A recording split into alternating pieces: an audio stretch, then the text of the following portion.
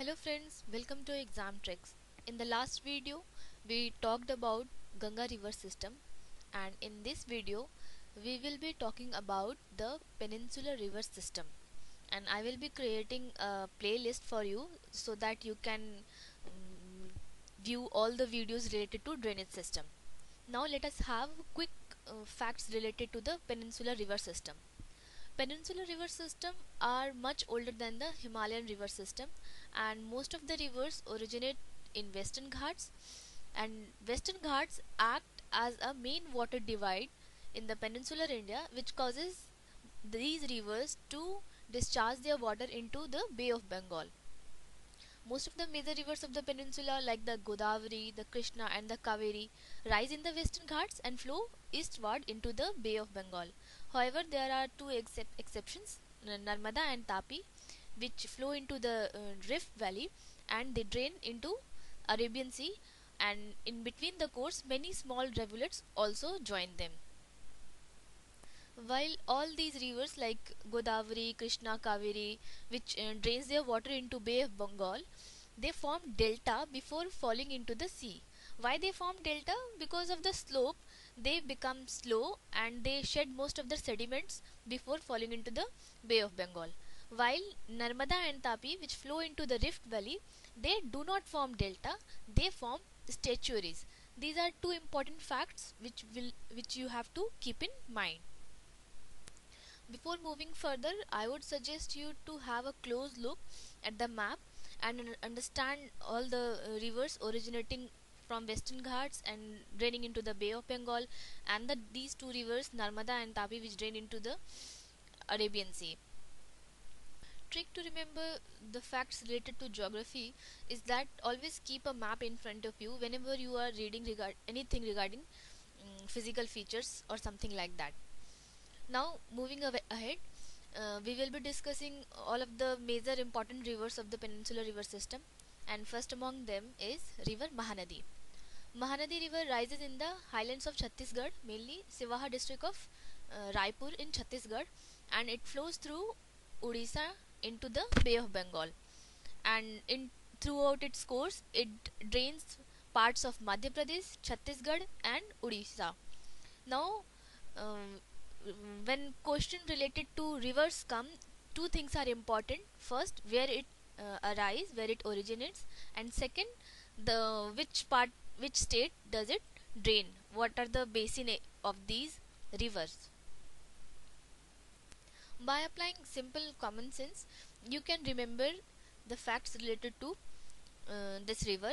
If you know the origin of this river, which is Chhattisgarh, then you can simply apply the mind that if it originates in Chhattisgarh, it, must be draining Madhya Pradesh, and if it drains into Bay of Bengal, then it must uh, cross through the state which uh, is along the Bay of Bengal. So you can mm, find that geography is not all about facts but also some simple common sense. The second most important river is river godavari. Godavari river is the largest peninsular river it rises from the eastern slopes of the western ghats in the nasik district of maharashtra and it has the largest drainage basin among the peninsular river and that is why it is also known as Dakshin Ganga because of its length and the area it covers. It um, drains nearly 50% of the Maharashtra while it also crosses through Madhya Pradesh, Chhattisgarh, Odisha and Andhra Pradesh. Its three important and large tributaries are Pranahita, uh, the Penganga and the Indravati. So important facts related to river Godavari is that it rises in Nasik district of Maharashtra. It drains large basin of uh, Maharashtra and crosses through Maharashtra, Madhya Pradesh, Chhattisgarh, Odisha and Andhra Pradesh. It has three major tributaries that is Pranahita, Penganga and the Indravati. Another important river is river Krishna. Krishna river rises from a spring near Mahabaleshwar, Maharashtra in the western ghats. Now you can see that uh, we have read about two rivers originating in Maharashtra. First we read uh, about Godavari and the second river is river Krishna that arises in Maharashtra. Godavari arises in Nasik district of Maharashtra and Krishna arises in uh, Mahabaleshwar, a spring near Mahabaleshwar in the western Ghats.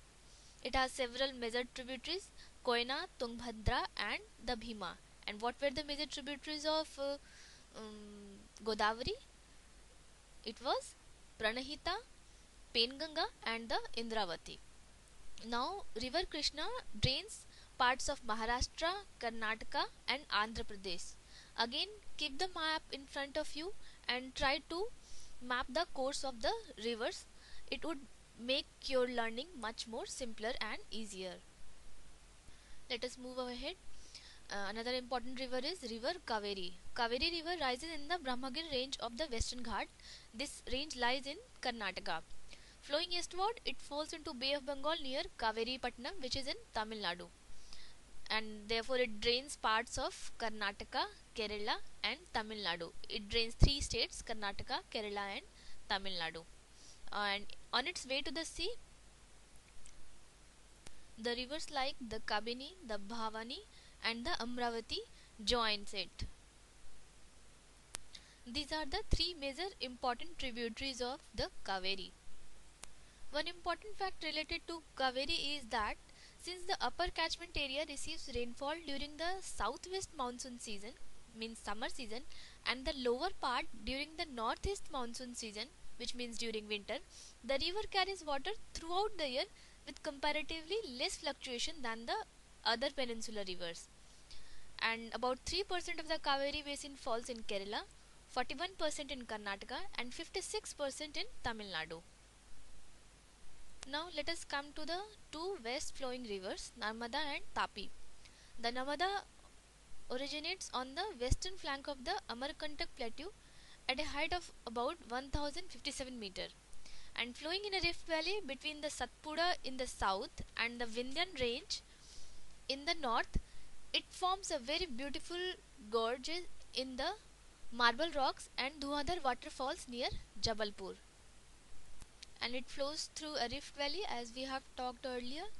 Uh, Sardar Sarovar dam is also built on this river. The Tapi river is another important westward flowing river it originates from Multai in the Betul district of Madhya Pradesh and nearly 79% of its basin lies in Maharashtra, 15% in Madhya Pradesh and the remaining 6% in Gujarat.